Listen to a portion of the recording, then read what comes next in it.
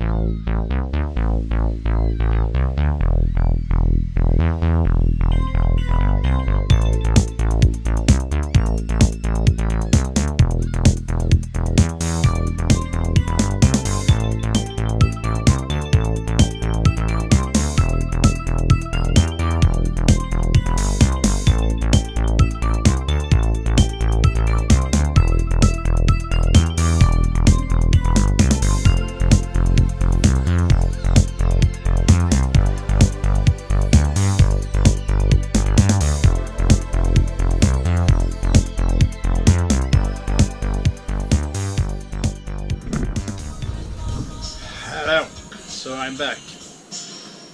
to show how to uh, fix the display when you connect Volvo Penta Easy Connect with Garmin GMI 20. Tag along. So, now I'm going to turn on, turn off the music maybe, turn on the ignition to the engines but not start the engines.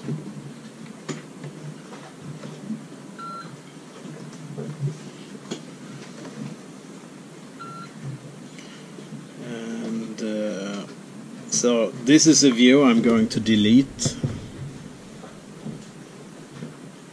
This one I'm going to delete this one. So you go into the menu.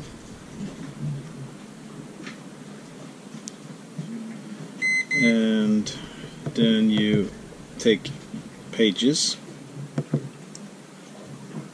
Take away page. So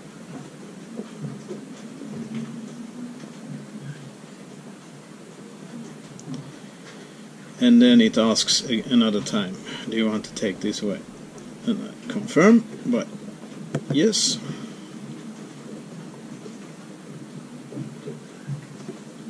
And yes again and then it's gone.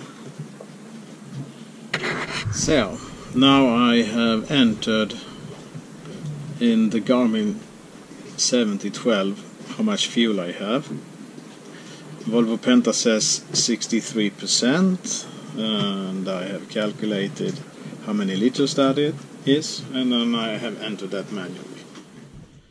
When you get the Garmin GMI 20 and the Volvo Penta Easy Connect uh, it comes with some standard views and it looks like this. You go into pages this is what you get automatically. Uh, and you add a page and then you can choose the preset pages. And then you get this one looks like crap. Uh, this is the speed. Uh, this is the compass. Uh, this is the compass with the depth and the speed in the middle. Could be useful but looks like shit. And then then you get some information that you have in the navigation and, and also some of the instruments. And then back. And I actually managed to delete one with the oil pressure and stuff like that. Also looked like shit. So I go back. Now I'm going to show how to configure a page go into the menu and you go to pages choose add a page and then you go into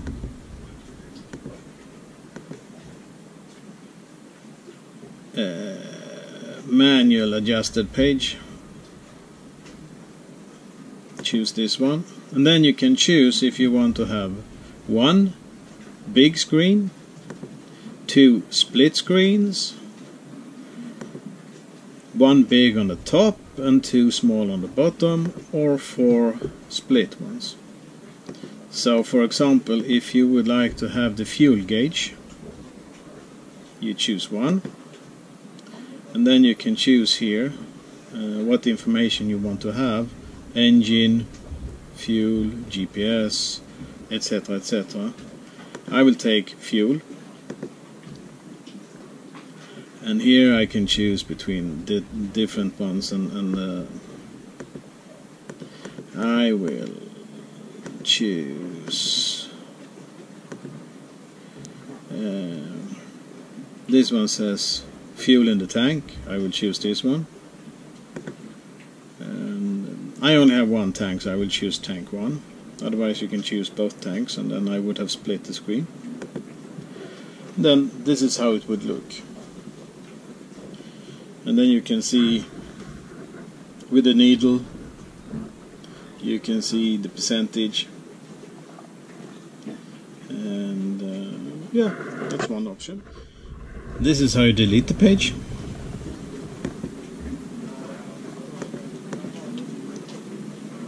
You go into pages. You go and delete.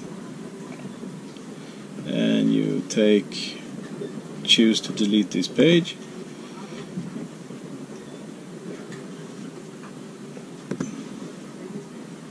So.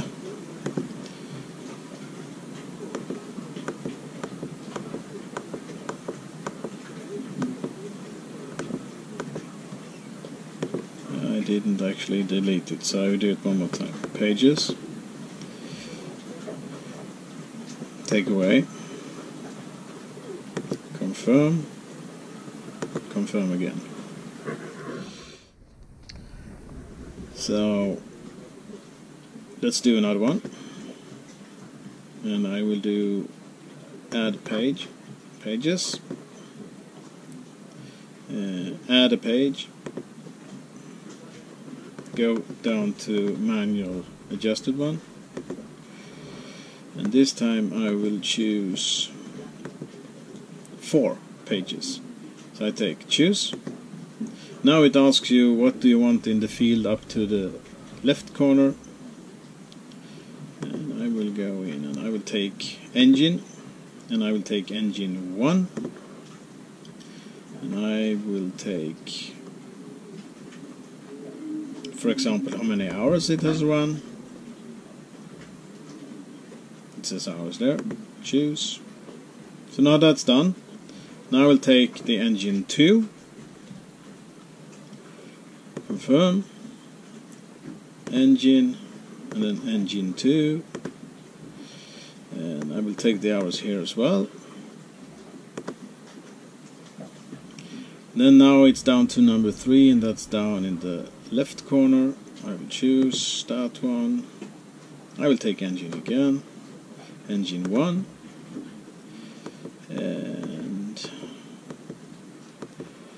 temperature. We take the temperature of the engine. Choose.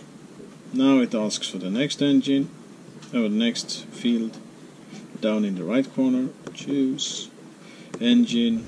Engine 2 and then we go down and take temperature on that one too. And then it says ready.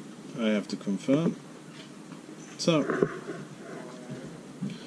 then we have the engines. Hours then hours on engine 1 hours on engine 2 the temperature of the both engines is the same as in the water. Yeah. That's how it can look.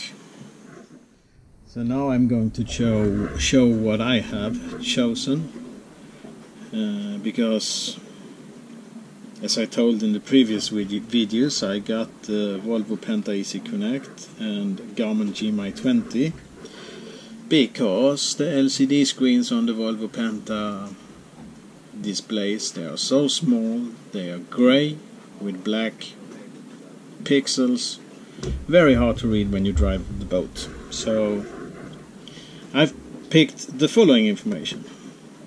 I have this is the view I'm going to use uh, when I drive.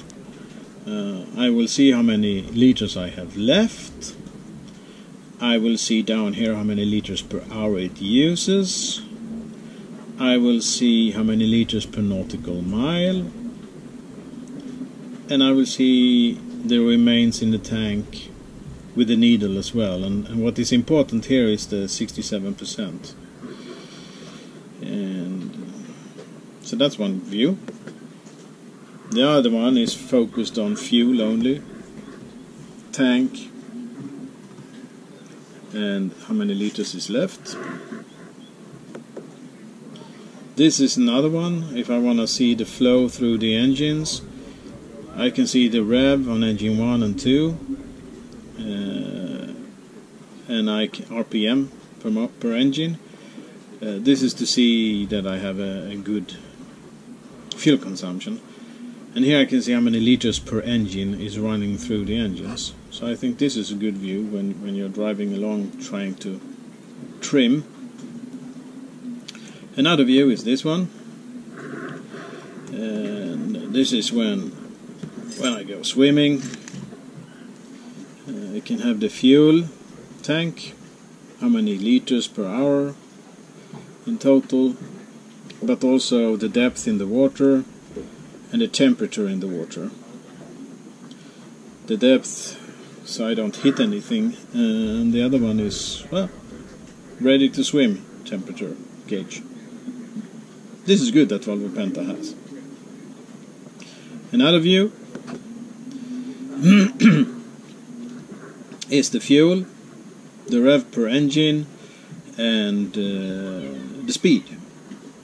I think that uh, that is the four most important ones whilst driving. And then I have another one uh, with the rev per engine and the trim. This is to see if you can, when you're trimming, does anything happen to the rev. Sometimes you, you can use the airs only, but it's good to see the, the rev in, in digital format. So I, I like this one. And then I have one uh,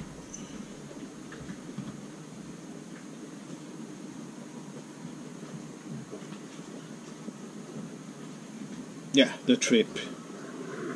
You know this one. I'm not going to explain that one. So, then we're back again. That's the last view. Hey, okie doke. So, one more thing uh, how to enter how much petrol you have in the tank. Here you can see you have 67 Nah, it dropped to 66%. So in order to not over-calculate, I will calculate with 65%. And over the years, it turned out to be pretty accurate. So my tank is having 720 capacity times 65%. So I have 468 liters 468 information engine and then once you have the engine menu up I took take the menu and here is enter total fuel in tank. I will do this one. And I will manually enter what we got. 468 so 00468 enter. So let's see so that was how to enter fuel in your main navigation system but actually the GMI 20 you can do it here too. You go into menu you go into configure it's this one configure data and then you get the question do you want to fill tanks? Uh, you can add how many fuel you have to filled up with. Uh, uh, or you can actually go in here and add total fuel and then you just enter how many uh, liters you want to add by going up and down, but I'm not going to do this as I did that in the main unit, so I'm just going to go back. So, I think this was it. Uh, my conclusion is that if you are like me, over 50, you have Volvo Penta instruments with the grey displays and, and uh, black pixels. You can buy the Volvo Penta Easy Connect and a Garmin GI GMI 20 and you can either connect all of that to get together on the NMEA net or you make a separate NMEA net just to isolate it. Um, so I have chosen to have everything connected together. Uh, but you can do however you want and this is a much cheaper solution than uh, buying a display from Volvo. The, the digital displays they're very expensive. A Garmin GMI 20 cost like 450 euros plus minus wherever you live. And the Volvo Penta Easy Connect like 350 euros. So in principle 800 euros. Plus labor if you cannot do it yourself the connection. But it's it's pretty simple to do so. Good luck.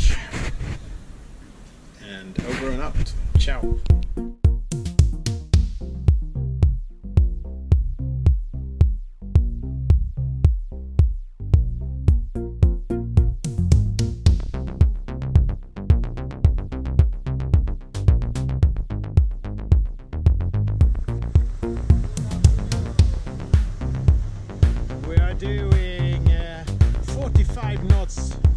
Look at the speed.